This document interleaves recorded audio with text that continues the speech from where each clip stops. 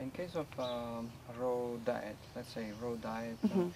um, is it possible to have to meet also um, allergies in this kind of diet? To get allergies on a raw diet? Yes. Uh, the raw diet tends to be a diet that avoids allergies Mhm. quite well because you leave out, of course, the fish, the eggs, the dairy, these big problems with allergies. You also leave out the grains, the um, gluten. And so it tends to be a diet that people do well on. And some people, for example, with rheumatoid arthritis or with uh, um, fibromyalgia, find that their symptoms decrease on a raw diet. They do very well. Um, but people could be allergic to some a food. Uh, there's oral allergies to fruits. There, there is uh, sesame seed allergy. There are other. There are allergies to practically every food in existence, but very few on a raw diet.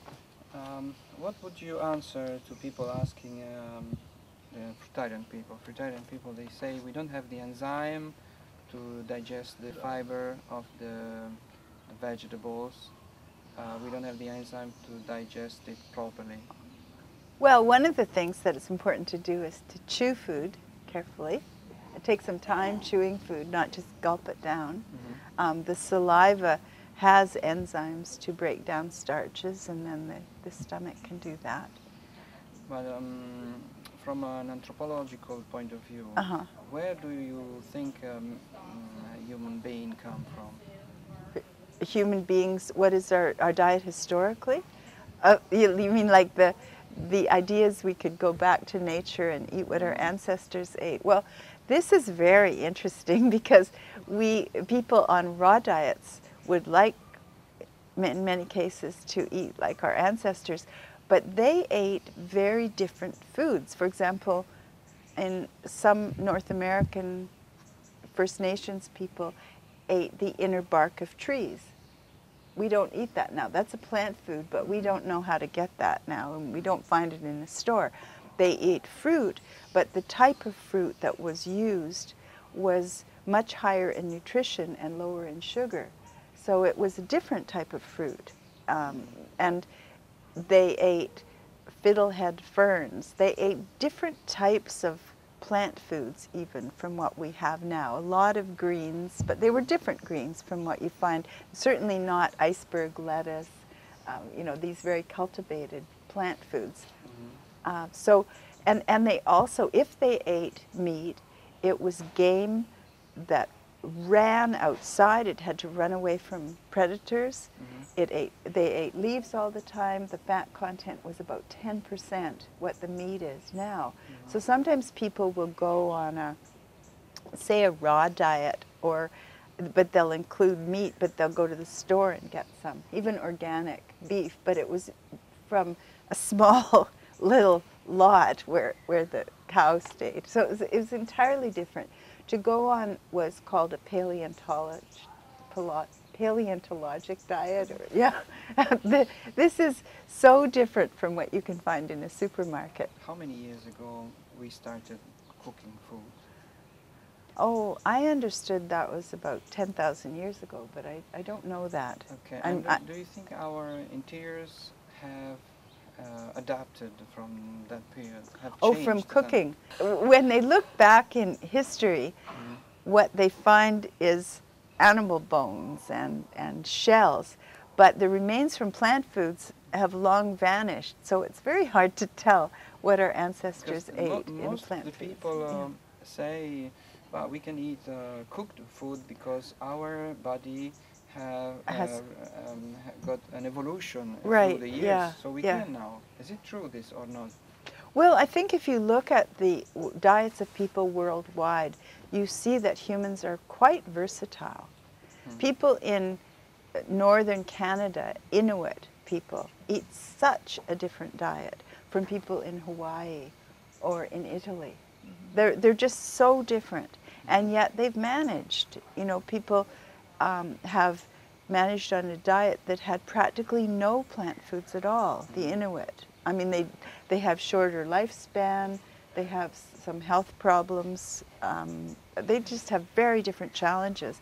And then people, some people near the equator, they eat a lot more fruit. I mean, it's on the trees, and and uh, so, um, and and some of the First Nations people from long ago um, a very plant-based diet. The Anasazi Indians, they ate corn and squash, and But I, ideally, what would be the best food for um, for humans. For humans. Well, we have wondered that, and I think uh, looking at, back at history is probably not our best guide Mhm. because the foods that are available to humans now are so different. What we can actually get, like it, it's too idealistic to try and think of people living in the wild and going and collecting berries off bushes Mhm. because that is impossible for most people Yes, but Yeah. I think it's very, very important So you wanna to know know to know what would be ideally would be. optimal. And then we can adapt for depending on which region we live and our situation, our body, and so on. Right, yeah, okay.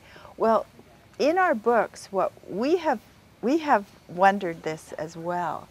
And instead of looking at history to see what there was, Mhm. because um, it's, it's just too difficult to figure out from that source, we look at the health uh, statistics now Mhm. and see who is doing the best, you Mhm. know.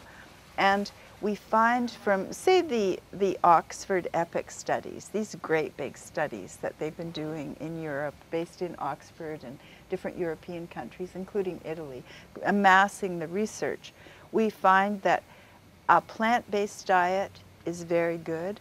A near plant-based diet is also very good. If you eat a plant-based diet plus some fish, um, that seems to be a good one. So all of these seem to support health very, very well, and including a vegan diet. But it must be done so that you include enough vitamin B12 and enough calcium and vitamin D. And, Mhm. and these really show very good statistical results Mhm. in terms of, of health now.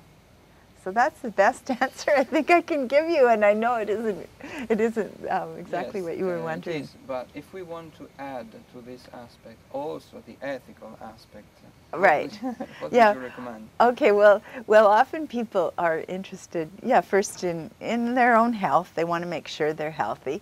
And then we start to look at the ethics. If you start thinking beyond yourself to other species. And of course, the vegan diet has a tremendous amount going for it then. And uh, we, we now know how to do this in good health as well. We can do a really good vegan diet because we have products available in the stores. We have um, the guidelines that are, are very clear now. Here's how to do it in good health. And you just need the, this combination of um, fruits and vegetables with a big emphasis on vegetables. And we can include nuts and seeds. We can include grains, um, either the true grains or the gluten-free that are not true grains, um, and the legumes. And we don't need to include every one of these foods, but we can do a wonderful diet with, based on those.